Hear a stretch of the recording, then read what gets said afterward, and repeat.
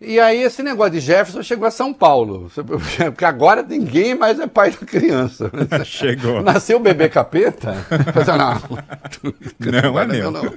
É, vai, vai, vai lá. E o candidato do Republicanos, Reinaldo Tarcísio de Freitas, seguiu a mesma estratégia do presidente Bolsonaro, né? Tentou se afastar do PTBista. O ex-ministro repudiou a violência e disse hoje que Jefferson estava com a saúde mental prejudicada. Isso aspas do Tarcísio.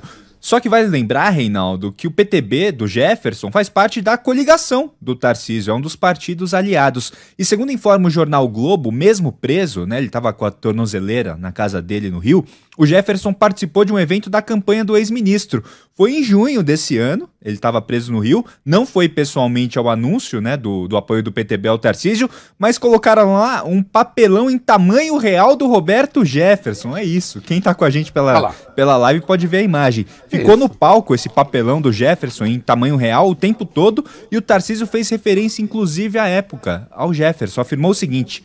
Quero cumprimentar o doutor Cássio, presidente nacional do PTB, e na sua pessoa, Cássio, mandar um abraço carinhoso para o doutor Roberto Jefferson, que desde o primeiro momento esteve com o nosso presidente Bolsonaro. Levem meu abraço e minha consideração para o nosso deputado Jefferson.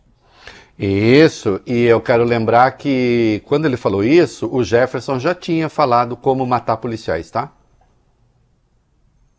Hein, Tarcísio? Ei, Tarcísio! Tira a câmera de uniforme, o que também vai contribuir para morrer mais policiais. O cara já tinha ensinado a matar policiais e você estava mandando seu abraço carinhoso. Hum. É... É, o Haddad comentou, claro. Candidato do PT ao governo paulista falou sobre o caso Roberto Jefferson e criticou a condução do episódio pelo governo Bolsonaro. Haddad afirmou que o ataque do ex-deputado teve cara de coisa planejada e que não faz sentido nenhum escalar o ministro da Justiça para intervir nesse caso. As declarações de Haddad foram dadas numa entrevista ao jornal O Globo, na qual ele disse o seguinte: Como o sujeito manda o ministro da Justiça fazer uma mediação, quem é o Roberto Jefferson para ter o ministro da Justiça à sua disposição? Bom, isso é absolutamente verdadeiro. Não, e eu também acho que tem cara de coisa planejada sim. Eu comecei falando isso. Eu só acho que o cara fugiu do controle. Se levou a sério demais. Entendeu?